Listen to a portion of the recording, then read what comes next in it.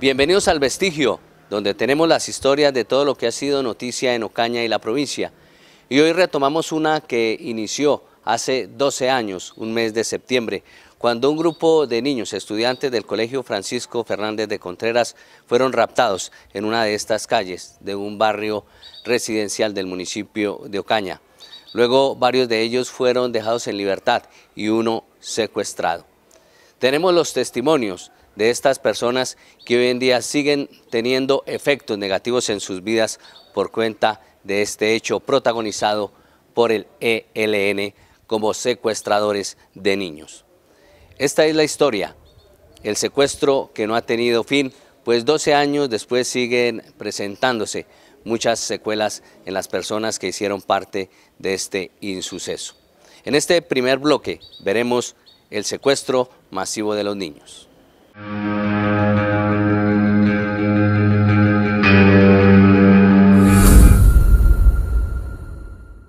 En esta calle del barrio Urbanización Central comienza la historia de un grupo de niños que no superaban los 15 años, cuyo bus escolar fue interceptado por miembros de la guerrilla. Armas de fuego contra libros y lapiceros marcaron el inicio de un drama que sigue vigente 13 años después.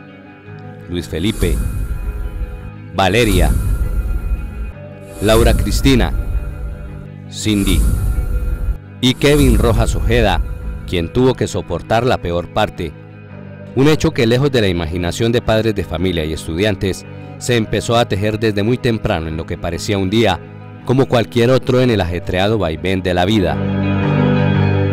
Yo saco el carro, lo alisto a la misma hora, faltando 20 para las 5 de la mañana, me alisto, voy y recojo los dos primeros pasajeros que vienen siendo Felipe y, Valeria, después recojo a Karen, después recojo a, esta pela chinchilla, después el último fue Kevin. En la mañana temprano, eh, eh, a las eso de las 6, más o menos 6 y 10, esperando la ruta normal de, para ir al colegio. Íbamos camino a recoger a dos compañeros, uno de esos Kevin. El último fue Kevin. Casi al tiempo que se desarrollaba la dramática situación, los medios de comunicación de Ocaña ya ponían a rodar la noticia que se convirtió en el tema de qué hablar desde tempranas horas de ese 12 de septiembre. En medio de ese torbellino había una inadvertida madre. De un momento a otro pasé por una calle ahí del mercado y este, oí la gente que se agrupaba y que decía que pobrecita las mamás y que qué cosa tan brava lo que había pasado, que se habían llevado una, una buceta escolar y ¿usted qué dice, doña Marlene? Y yo no, pues me da a pesar con las mamás cómo estarán, dije yo. La aventura marcada por la Odisea ya se había empezado a escribir. Ante la ingenuidad de los niños, el terror había subido a bordo encarnado en dos hombres que escribían con sus armas un capítulo horrendo para la historia de Ocaña, y sin que nadie advirtiera lo que realmente pasaba, en lo que sería una ruta escolar con tintes sombríos. A más o menos cuadra y media eh, nos abordan dos sujetos, eh, uno con gafas y con armas de fuego. En el primer momento lo que dijeron fue que hacían parte de las autodefensas, que no iba a pasar nada y que, que lo lleváramos hasta cierto sitio. Nosotros nos bajamos pues obviamente espantados con los niños, con los niños del, del carro. Entonces los manes nos piden el favor de que nos devolvamos, que no, que necesitaban era el vehículo, no iba a pasar más nada, sino que necesitaban era el vehículo. Entonces ahí fue donde, no, pues lléveselo, no hay problema, llévese el carro, los pelados déjenos aquí. Entonces no, nos hicieron retomar el carro y que los llevara, que necesitaban era salir de la ciudad.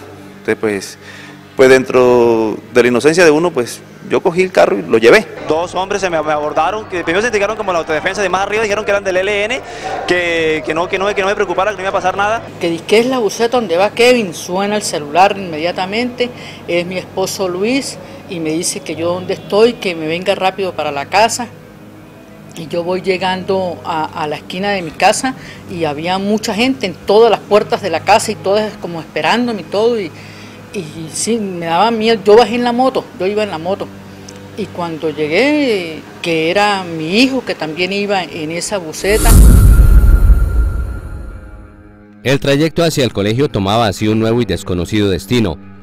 La ruta pasó de ser escolar a convertirse en la de escape para los hombres que momentos antes habían interceptado la buceta. En la huida, dejaban a su paso la forma de evitar ser alcanzados por la fuerza pública, que ya estaba enterada del siniestro plan que guerrilleros del ELN tenían en marcha. Pasamos por el centro, normal, fue todo muy normal para la gente externa a lo que estaba pasando. Me guían por dónde tengo que pasar, por Ocaña. O sea, de donde, del punto del cementerio central, que fue donde, donde me interceptaron, hasta la salida de Ocaña, ellos fueron los que guiaron el camino. Empezamos a subir a la vía, la vía Cristo Rey y, ya llegamos prácticamente a la, a la, circunvalar y nos dicen que no, que sigamos. A mitad de camino más o menos eh, bajaron como unas cajas de tomate y las marcaron con el corrector de una compañera que iba en la boceta y dijeron que era carga explosiva. Más adelante nos abordan otros dos sujetos, allá serían cuatro. Entre, entre ellos está un sujeto que se llama Alonso, eh, alias El Niño, el otro alias Cheche y otro muchacho que no recuerdo cómo se llama. Nos metieron como por una trocha y pues nos iban preguntando quién eran los papás, qué hacían, cuántos años tenían, si teníamos celulares. Bueno, antes ya se, ya se había identificado como el ELN, entonces ahí sí se coloca uno de ellos una capucha roja, decía ELN, eh, se llevan a, a una niña, Karen, le hacen unas preguntas, después se llevan a Kevin, le hacen otras preguntas y después nos hacen unas preguntas ahí de grupo y llegamos ahí, entonces ya resuelven, como en cinco minutos resuelven, eh, nos vamos a llevar a Kevin. Y el conductor de la buceta pues decía que no, que no, que no hicieran eso porque prácticamente él estaba bajo responsabilidad de él. Le, le brinqué al man y le dije, mi hermano, ¿cómo me va a quitar el niño si el niño está responsabilidad mía? Me dijo, viejo, vea, váyase que no pasa nada, dígale que cuando le encuentre que nosotros le secuestramos un pelado y dígale lo que sucedió. A usted no le va a pasar nada ni le va a hacer nada porque usted no tiene nada que ver en esto. Digo, bueno, pues sí, tiene razón. Entonces yo al ver que ya me quedaban el resto de niños ahí, para yo devolverme, pues irnos todos, pues más, más, más problemático, entonces nos devolvámonos.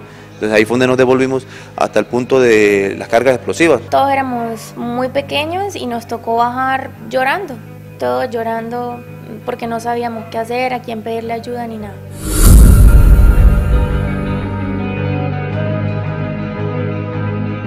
Kevin Rojas y su madre pidieron pues la reserva de su aspecto físico actual. Precisamente pues eh, quedan secuelas de esta situación y por eso prefieren estar en esa condición. Fueron casi 48 horas que Kevin estuvo en poder de sus captores en las montañas del Catatumbo, donde tuvo que afrontar las difíciles condiciones del clima y también pues eh, las eh, angustias de verse en medio de las montañas del Catatumbo alejado de sus familiares.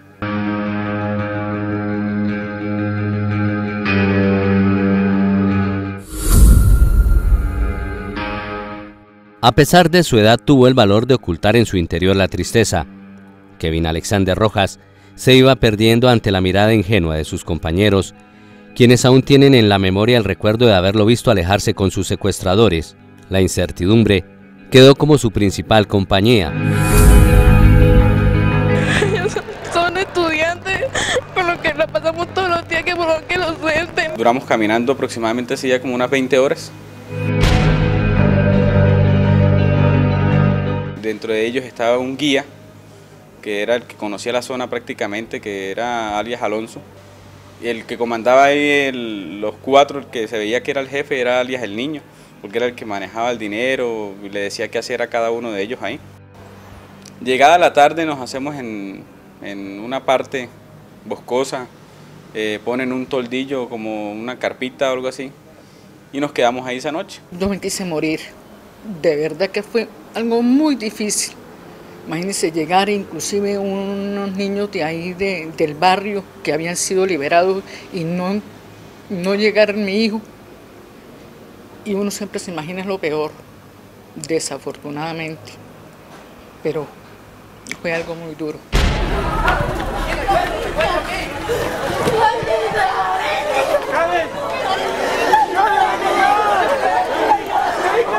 Todos apesarados y pues eh, pensando que, que, no le fuera a pasar nada y que lo, que lo soltaran rápido. Esa misma noche eh, nos paramos a caminar, caminamos toda la madrugada. Eh, a eso de las seis y media de la mañana ya finalmente encontraron una zona, una zona donde nos pudimos quedar. Ese día acampamos todo el día prácticamente. Entraban a casas de, campesinos y sacaban sardinas, eh, los mismos campesinos ayudaban, le dejaban arepa con queso o alguna cosa. Y así pasó todo el día, yo obviamente con un radiecito, pues escuchando los, las voces de aliento de, de las demás personas. Un mensaje para Kevin. Que lo queremos mucho y que lo estamos esperando con anhelo y rezando para su pronto regreso. Eh, días difíciles, pues incapacitada casi totalmente. Em, no me podía parar, pues sufro de la columna y este muy terrible porque hacían llamadas que inclusive no eran con el caso, pero desafortunadamente en Río Revuelto todo el mundo pesca, que fue algo muy duro, todavía sigue siendo. Bueno, el siguiente día no, se hizo nada hasta la tarde. Eh, cayendo la noche nos ubicamos en, otro, en otra zona, pues para despistar, dicen ellos, eh, y es cuando empieza al siguiente día la operación de rescate.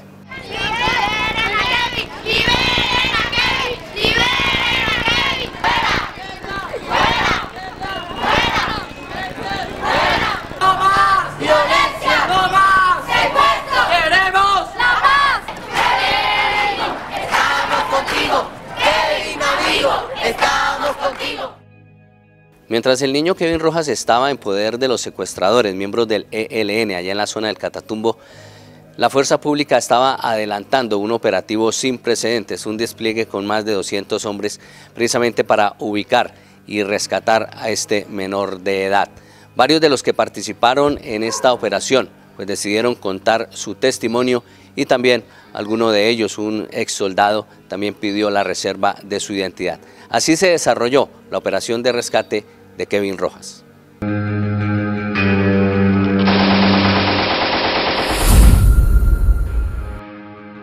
La operación de rescate de Kevin Rojas se dio tras una información concreta sobre su ubicación. De inmediato, se dispuso de todo el personal entrenado para operaciones de alto riesgo. Comandos integrados por oficiales y soldados profesionales tuvieron la difícil misión de regresarlo a la libertad. De este selecto grupo hicieron parte el entonces teniente Wilmar Durán Caselles y un soldado cañero quien aceptó contar su experiencia, cobijado en el anonimato. Alias Alonso dice que va a buscar ayuda, se va. Quedan alias el niño, Cheche, el muchacho joven que digo, el monstruo. Y ya ellos me quedaron ahí esto, cuidando. Nos informaron que había un informante que tenía conocimiento de dónde tenían al joven nosotros esperando ahí, estamos eh, esperando órdenes cuando ya tenían las coordenadas y llegó un helicóptero. Entonces, bueno, muchachos, alístense que vamos a hacer el rescate. Y yo como era operador de ametralladora, me montaron de primero. Montaron nueve soldados y llevan dos, dos suboficiales ahí de, del batallón Santander. A las horas del mediodía más o menos eh, empiezan más, más, más seguido las los helicópteros, eh, tiros de, armas, metralletas, de todo. Entonces ellos se asustan y empiezan a recoger todo.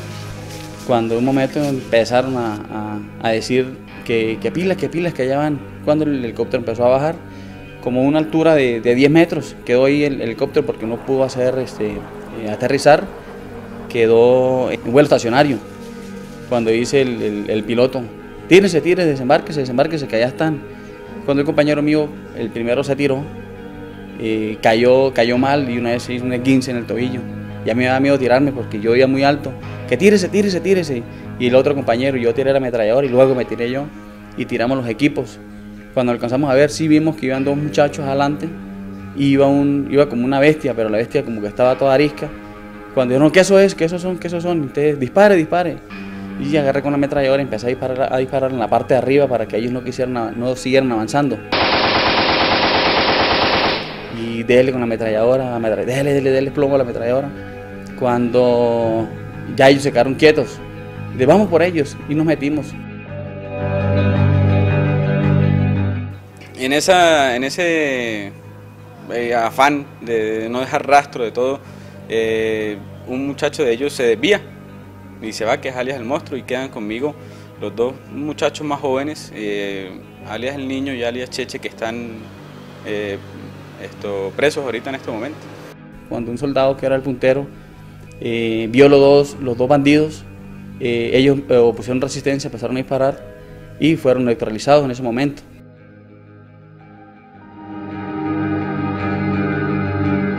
Me abrazan los dos para decir que si los asesinan a ellos, pues puede que yo quede en riesgo, que corre en riesgo mi vida. Entonces los dos muchachos del ejército en ese momento le dicen que, que, me suelten, que no le va a pasar nada, que ellos le perdonan la vida. Y efectivamente así fue. Quedaron ellos dos retenidos y pues yo retorné a la libertad. Y nosotros una vez pues eh, empezamos a abrazarlo, decirle que íbamos por él, que no se preocupara, que, que ya estaba el ejército, ya lo había liberado. Estuvimos en un cierre directo de la operación porque la intención acá de estos bandidos era pasar a Kevin hacia el Catatumbo. Pero nosotros estuvimos a tiempo y de acuerdo a las informaciones, de acuerdo al, esquema de maniobra que, se realizó en ese entonces, estuvimos de cierre con dos pelotones aparte del resto de pelotones, porque creo que participamos, al parecer, si no estoy mal, casi, casi 200 hombres en esa operación. Una hora antes fue muy difícil, orando, haciendo el rosario, em, los amigos más allegados, los familiares, y muy asustados porque uno se imagina que siempre lo van a poner es a él de, de a la defensa, a taparse ellos y todo, pero cuando ya supimos que, que ya lo tenía el ejército, pues una alegría muy, muy inmensa y dándole gracias a Dios. Y todos los días de mi vida le doy gracias a Dios porque estamos con vida, lo tenemos con nosotros. Mi vida a partir de ese momento cambió completamente. Las secuelas después de un secuestro, aunque no, fueron, no fue un secuestro de años ni de días, fueron horas, pero bastó con eso para que mi vida se llenara de ansiedad, se llenara de terror, de miedo a morir. Porque yo creo que esa fue la secuela más importante, ¿cierto? Es una lucha diaria por no pensar que mi vida se va a acabar, por no pensar que alguien de la sociedad va a atentar contra mí o contra mi familia. Entonces yo creo que, que, que después de un secuestro nunca vuelves a ser igual. O sea, fueron minutos pensando que en cualquier momento yo no iba a volver a mi casa, que ni mi hermano ni yo íbamos a volver, que no iba a poder volver a mi mamá, ver a mi mamá, a mi familia, no iba a volver a, a, a tener la vida con mis amigos, a sonreír, a cumplir mis sueños, que eso se había acabado. Y que una persona de 12 años tenga que enfrentar eso y tenga que entender eso es algo muy difícil y es muy triste. Muy buenas noches, bienvenidos a la emisión del informativo TV San Jorge. Ante los actos operacionales efectuados por tropas del Batallón Santander para la liberación del joven que había sido secuestrado horas antes por un grupo subversivo. En el rescate del joven Kevin, fue una operación grande, pues obviamente ordenado pues por la, por la misma eh, brigada, obviamente el batallón, y pues eh, eh, era algo concreto de rescatar, la misión concreta era rescatar al joven Kevin. Eso fue un regalo de Dios, nuevamente tenerlo con nosotros.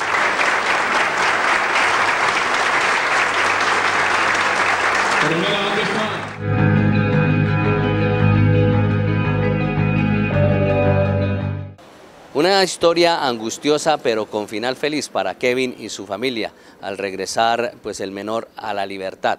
Pero no ha sido así para el oficial Wilmar Durán Caselles, quien está condenado a 28 años de prisión. Precisamente en medio de esa operación, meses después, fue abatido alias Alonso, reconocido participante del secuestro y cuyos testimonios de los eh, afectados pues no ha servido mucho ante las autoridades. Pero también obtuvimos un testimonio muy importante, muy exclusivo, y es el de un desmovilizado de la guerrilla del ELN alias Nadine. Estuvo por 15 años en la subversión. Hace 10 se desmovilizó y contó detalles de quién era la persona abatida y por el cual está siendo condenado el capitán Durán Caselles. Tras el rescate de Kevin, la operación siguió para dar con los secuestradores que lograron huir.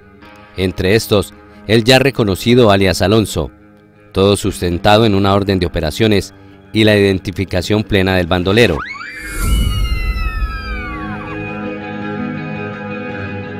Fue uno de los que entró acá en el municipio de Ocaña a secuestrar al joven, al joven Kevin. Y no, y no tanto al joven Kevin, fueron a los cinco niños más. Estamos hablando de cinco niños secuestrados por estos bandidos. Alias Alonso estuvo, participó en mi secuestro. Eh, la gente lo conoce, Incluso mi mamá llegó a verlo en algunas ocasiones en, rondando eh, el negocio familiar. Él llegó a comprar varias veces, como dos o tres o cuatro veces diría yo, inclusive preguntó por él, pero afortunadamente eh, mi esposo tuvo que viajar, pero no sé qué pasó, a la media hora se regresó y cuando él vino a buscarlo pues no lo encontró. Eh, luego al otro día, que hoy sí me voy, dijo mi esposo, y ese día pues no lo encontró, compró dos tiras de cigarrillo. Eh, es más, después fue que me pude dar cuenta que era él cuando lo vi en los periódicos. Que para mí fue traumático, porque eh, yo decía que era él, que yo lo había visto, que él había estado en el depósito donde nosotros trabajábamos. En el momento del, del plagio de la buceta, él fue, él era la persona que estaba a cargo de, los, de los otros que se montaron con nosotros. Él era el que daba las órdenes, el que hablaba por celular, el que prácticamente dijo quién se quedaba y quién se iba. Fue la persona que más habló, la que ya cuando viendo de que el secuestro de Kevin iba como para ellos en buen camino, ya con, el, otro compañero eh, se estaban dando ideas y diciendo que era fácil, que o sea, la seguridad era poca, o sea, para poder seguir haciendo más daño aquí a la comunidad. Alonso, Alonso sí fue la persona que tuvo siempre presente a, mano, a mi mano derecha, montada en el carro. La operación Jaguar se desarrolló sustentada en la orden de operaciones fechada del 1 de octubre al 15 del mismo mes del año 2003 Casi 11 meses llevaba alias Alonso esquivando el cerco militar tras huir de la operación de rescate de Kevin, pero la acción del teniente Durán un día le puso freno a la carrera delictiva de alias Alonso. ¿En qué momento cambia la historia de su vida, de su condición, de ser un héroe a pasar a ser señalado como un asesino de una persona como esta? Giovanni, es, es difícil, es difícil de entenderlo, es difícil de, explicarlo, de cómo nuestros soldados eh, con, tanta lucha, con tanto sacrificio, que defendemos el honor militar y más la constitución del pueblo colombiano. Y de esta manera la vida mía cambia. En el momento de decir que un bandido de estos, un bandido reconocido, van a decir que es un humilde campesino. Por Dios, por Dios, por Dios, aquí están las pruebas testimoniales, tenemos las pruebas periciales y tenemos las pruebas documentales, por favor. O sea, es de no entender, sinceramente es de no entender, Giovanni. Pero quien conoció más de cerca a alias Alonso fue alias Naín, un hombre natural de San Calisto, quien hace 10 años se desmovilizó de la guerrilla, luego de 15 en ese grupo armado ilegal, y quien dio información precisa de quién es alias Alonso, alias Naín, desde la clandestinidad, nos dio su declaración. Alonso, el señor era Alonso, pero el nombre era Arnulfo. O sea que el nombre era Arnulfo. Incluso él andaba con unos milicianos que le decían la churca de San Calisto. Y cuando eso, había uno que fue guerrillero que se nombraba Aceite. Ellos son de redes urbanas y ustedes tienen que entender que una persona de redes urbanas, eh, uno, en el caso mío, cuando yo estuve en Urbano, yo estaba acá y nadie me miraba con un arma, pero yo estaba en lo que estaba porque yo estaba cumpliendo el orden a la organización. Además confirmó que alias Alonso participó en el secuestro de Kevin Rojas y otras personas. Lo que, sé yo fue que él vino, él vino con, con otro guerrillero, incluso venía uno que le decían William Cepillo. Y lo sacaron de acá, hasta donde sé yo no, porque yo no estuve ahí, sino que me, comentaban ellos mismos que lo habían secuestrado. Participó en hartos, él no solamente en ese, él incluso participó en un man que llevaron por el lado de Caño Madera, eso queda por el lado de Campo 2, abajo de Tibún un señor que ya no supe de dónde, y lo, lo, traían de Venezuela. Participó en, un secuestro que fue de Rosalba Pérez, que ese secuestro a ella la sacó de ahí, fue Aldair, pero él quiso todas las vueltas. Incluso esa pelada, esa señora, ella me conoce mucho a mí y ella me decía, cuando se entregue vaya a la casa, me decía ella, porque yo era el único que le daba el radio a ella, porque yo estuve ahí en ese comando de apoyo. El exguerrillero alias Naín además estuvo mucho tiempo bajo las órdenes de alias Alonso, Sí, yo recibía órdenes, porque como Hermes era el, primer mando de dirección de acá de Ocaña era Hermes, y Hermes la pasaba lo que era en Palmarito y San Calisto. Entonces, como él estaba por esa zona, él venía a traernos órdenes de que teníamos que comprar munición, de que teníamos que, que sicariar a alguien. Él daba esas órdenes. Y él, incluso las órdenes las recibía, que los únicos urbanos que habíamos acá era Darío, uno que le decía Mechabrita y mi persona éramos los dos guerrilleros urbanos del ELN que habíamos acá en Ocaña. Aun cuando su versión fue desechada por la Fiscalía y los jueces, considerándola como falta de credibilidad por ser guerrillero, está dispuesto a sostenerse en lo dicho. Pues yo declaré y después volví a, volví a ir a declarar y dijo que no, que para qué, qué metían un desmovilizado, que, que, un desmovilizado no era válida la declaración. Entonces, si la, la, declaración de uno desmovilizado no es válida, ellos, ¿por qué si lo utilizan a uno cuando ellos necesitan operativos? Cuando ellos necesitan operativos o que, o que si uno conoce a una persona, sí lo utilizan a uno, porque a mí me han utilizado de esa manera.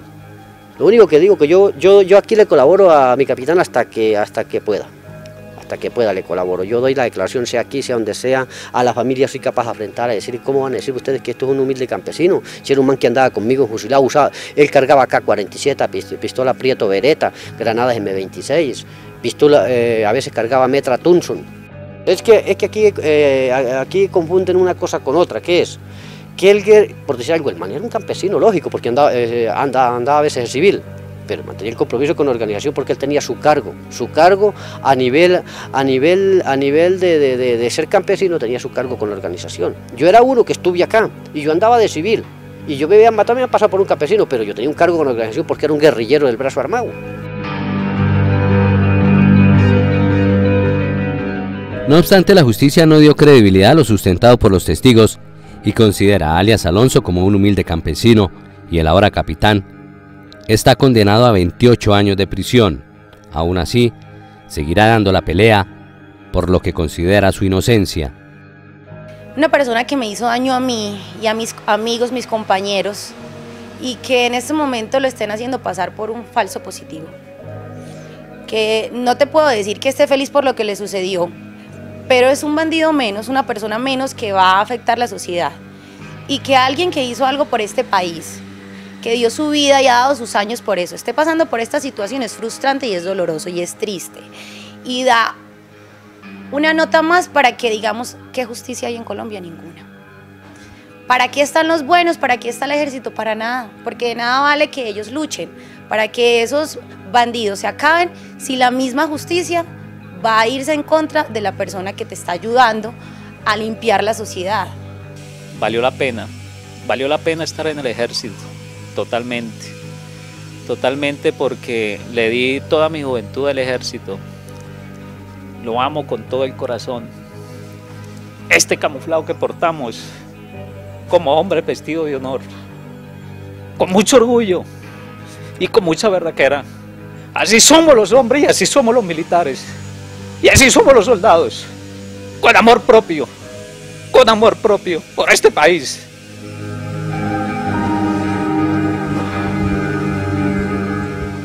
Esta es una historia que llama a la reflexión de todos los colombianos, precisamente por aquellas posibles injusticias que se estén cometiendo en este caso y que Dios quiera todo se esclarezca y que no se cometa ningún desafuero con este oficial.